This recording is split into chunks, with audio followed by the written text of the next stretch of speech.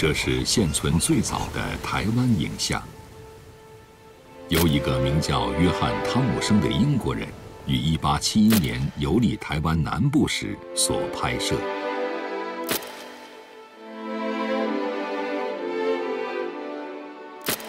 他们凝固着19世纪中晚期台湾的社会风貌，也留存下探寻台湾历史的一丝端倪。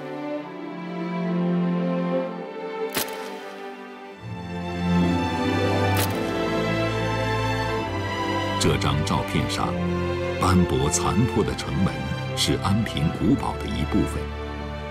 虽然古堡已然烟废，但足以令人想象它曾经的高大坚固。而镌刻在城门上的荷兰文字母依旧清晰可见。在拍摄照片的两个多世纪之前，城堡叫做热兰遮城。而伴随着这个荷兰语名字，东亚海域开始卷起巨浪狂澜。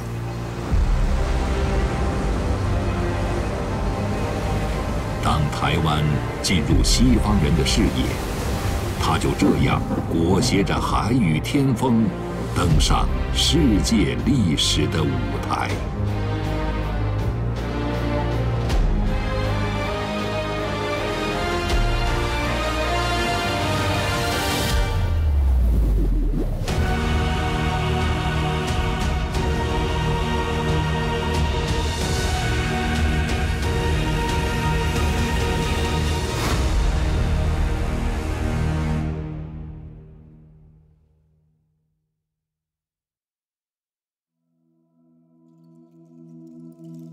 台湾地处中国东南海域，西隔台湾海峡与祖国大陆相望。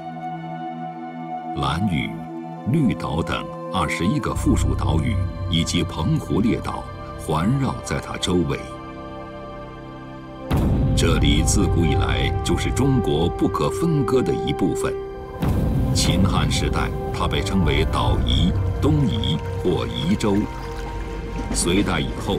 又被称作琉球，而台湾之为台湾，是从明代开始的。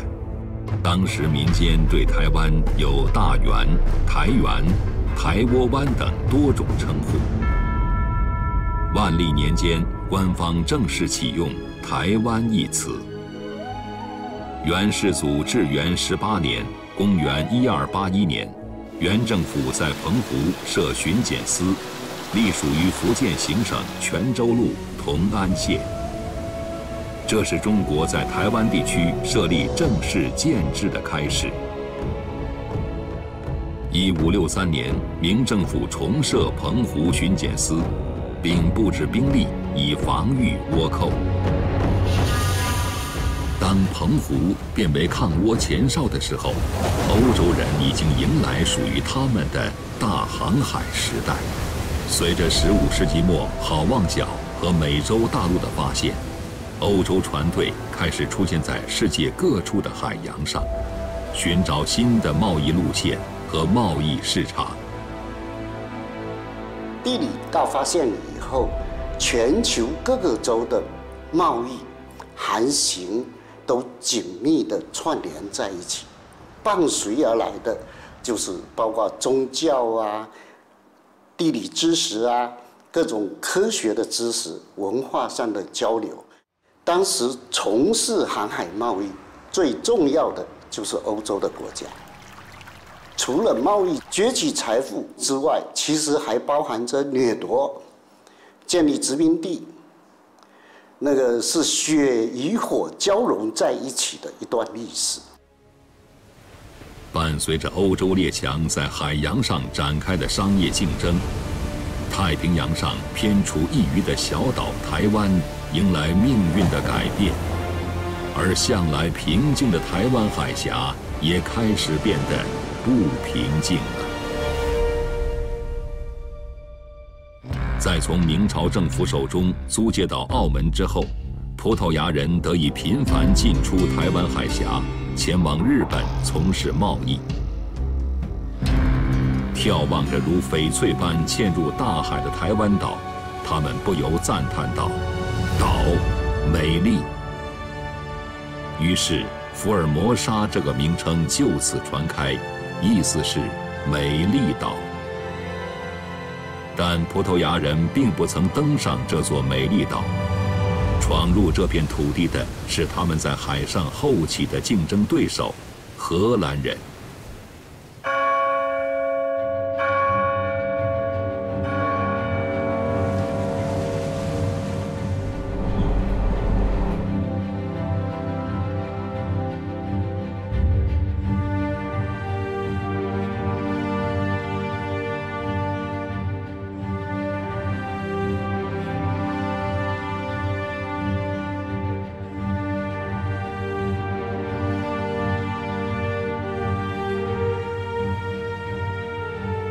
十六世纪末，荷兰摆脱了西班牙人的统治，赢得独立，并掀起欧洲大陆第一场资产阶级革命，由此占据了欧洲贸易的绝对领先优势。当时，荷兰人拥有世界上最庞大的船队，航行于大西洋、印度洋和太平洋，被称为“海上马车夫”。荷兰人开始充当拓展世界市场的主角。一五九四年，他们占领爪哇，将巴达维亚建筑成一个都市，即今天雅加达的前身。以巴达维亚为中心，荷兰人掌控了广阔的商业和贸易垄断权，向西远至印度和西兰，向东延伸到马鲁古香料群岛。一六零二年，荷兰政府将十四家以东方贸易为重点的公司合并组成联合东印度公司，并赋予其部分国家职能。它可以雇佣士兵、发行货币、行使司法裁判，成为荷兰在东方进行殖民掠夺的工具。荷兰联合东印度公司就是我们简称的 VOC。是成立于一六零二年，它的本质就是一个商业殖民机构，是十七世纪为荷兰人在远东地区那个殖民扩张的呃这么一种组织。它的背后是国家，它可以代表国家在海外去占领地盘、建立据点，呃呃，甚至跟人家打仗媾和。这样的等等的这样的一种行为，被那些外来者称作“福尔摩沙”的台湾，也一直是荷兰人觊觎的对象。那里是一片丰饶的土地，一望无际的稻田和甘蔗田，使海岛成为巨大的粮仓。丰富的海产以及沿海滩涂地带的晒盐业。则带来源源不断的财富。这无疑是荷兰人梦想中最富庶的殖民地，他们开始蠢蠢欲动。终于，一六二二年四月，联合东印度公司出动一支由十二艘舰船、一千多名雇佣军组成的舰队，配备着精良的火炮火铳，向台湾海峡进发。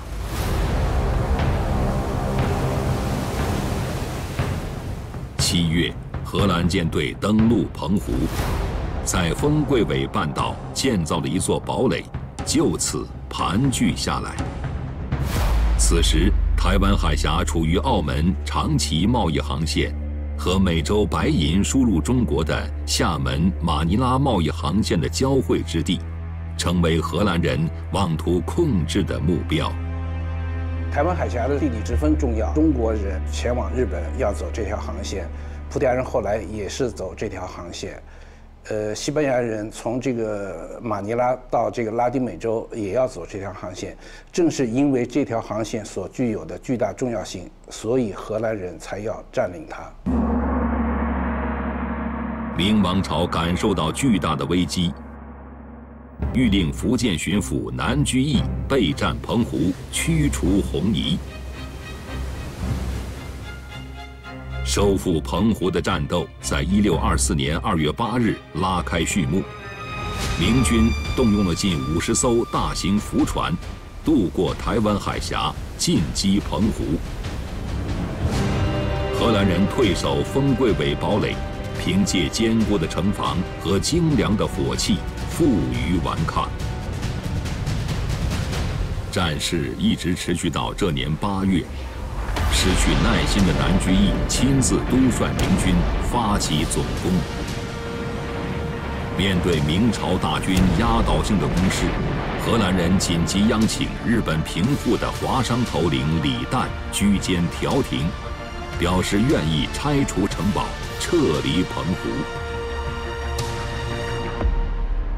赶来斡旋的李旦是一位颇为神奇的人物，他长期在日本、菲律宾一带进行走私贸易，在西洋人当中颇有影响力。甚至被他们起了个“中国船长”的绰号。李旦还带来一名通译，李旦还带来一名通译，这是一个通晓葡萄牙语和日本语的年轻人。他负责将明朝官员说的闽南语或南京官话，翻译成荷兰人听得懂的葡萄牙语。年轻人名叫郑芝龙，小名衣冠。因为闽南人彼此都称对方，啊，像大官人、大官、大官就讲家里的男人，家里的家长叫大官，大官人。福建人都称男的就称官人嘛。那因为郑芝龙是长男，所以称为一官。郑芝龙就是郑成功的父亲，这是他第一次出现在西方人的视野。而衣冠这个闽南人常用的名字。日后将给这些西方人留下深刻记忆。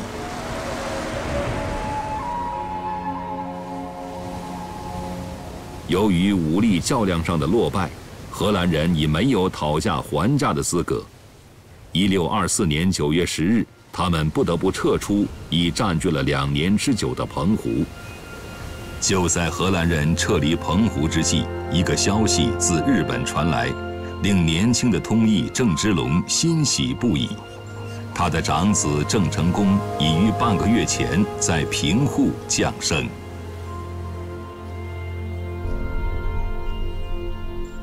平户位于日本九州岛西北端，隶属长崎县，是日本本土最西端的城市。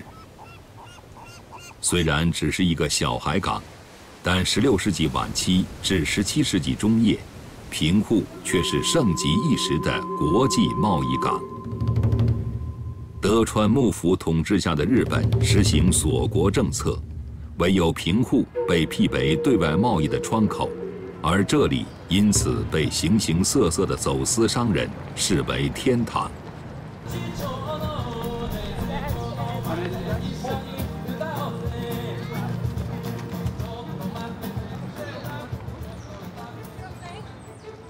正是在平户，依靠走私贸易，李旦崛起为整个东亚海域名头最响、最有实力的大海商。也正是这一点，让四处讨生路的郑芝龙踏海而来，依附于他的门下。泉州南安石井镇，这个福建东南沿海的小镇，就是郑芝龙的出生地。距离金门岛仅数海里之遥。山多田少，贫穷孤立的闽南，孕育了无数到海上追求财富的冒险家。而郑芝龙长大后走上的，同样是一条漂泊海上的人生道路。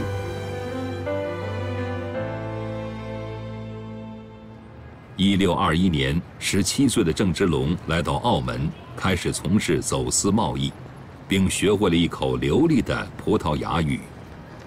后来为投靠李旦，他又来到日本平户。他的长子郑成功因此出生在异国他乡的贫户。这片名叫千里滨的海滩，就是郑成功的诞生地。据说郑母临盆时。正在海滩捡拾贝壳，遂分娩于一块巨石之上。那是一六二四年八月二十六日。后来郑成功儿诞时，成为历史圣迹，供世人瞻仰、祭拜。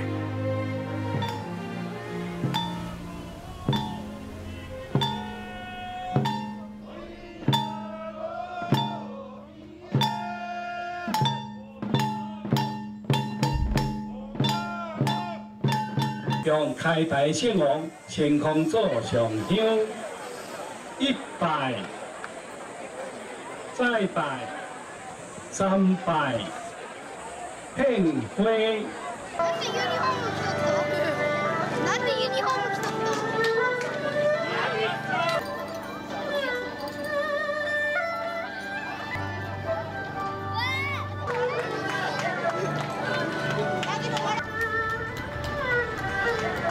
今天，日本九州民间仍然延续着对郑成功的尊崇和祭奉。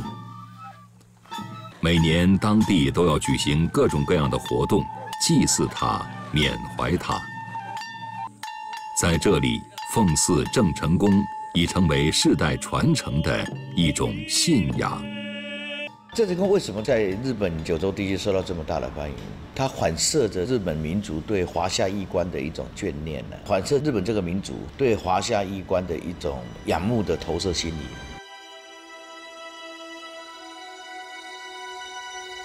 在郑成功诞生的这一年，一位名叫严思齐的闽南海商，则开启了他一生中堪称伟大的事业——拓垦台湾。笨港，在今天台湾云林县北港镇一带。三百多年前，那里还未被泥沙淤塞，是台湾与大陆交通的主要港口之一。一六二四年，严思齐从笨港登陆，进入台湾。随后，他派人赴漳州、泉州招募移民，进行拓垦。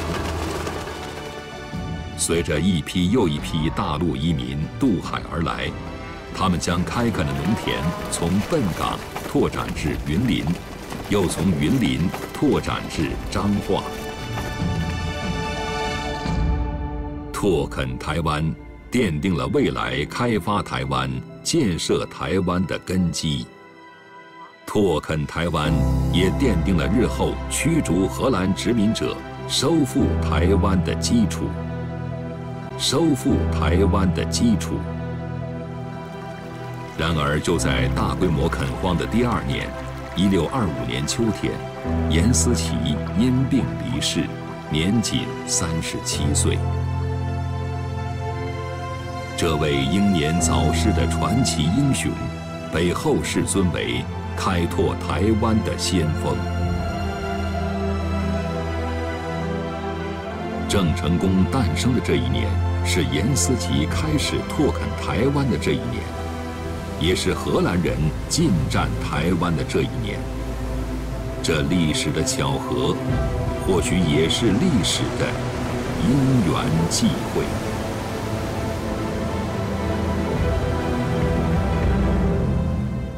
鹿耳门，因两岸沙角形似鹿耳，航道狭窄如门而得名。这里是台湾岛西南沙洲群中一处较大的潮汐口。在海潮的作用下，它成为出入外海的重要港道。三百多年前，外海的海湾被称为大圆湾，但今天它已不复存在。数百年的泥沙使这片海域彻底淤废。那时，大圆湾分布着十一座沙洲，与海岸线围成一片西湖内海，称台江内海或台江。一六二四年，荷兰人就是从鹿耳门进入台江，登陆台南。虽然被明朝军队赶出了澎湖，但他们图谋台湾的野心并没有就此作罢。为永久占据台湾，自踏上这片土地的那一刻起，荷兰人便开始在台江西侧修筑城堡，作为立足点。规模宏大的城堡历时近二十年方告竣工，被命名为热兰遮城。这个名字取自荷兰热兰省的省名，但台湾的汉人却称其为红毛城。红毛是他们对这些红发碧眼的入侵者的称呼。这是位于台南市安平区国胜路八十二号的安平古堡。它的前身就是热兰遮城。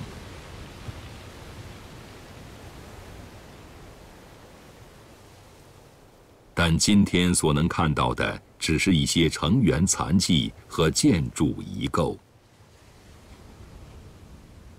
你看这道墙到现在已经三百八十二年了，这是全台湾最古老的一道城墙。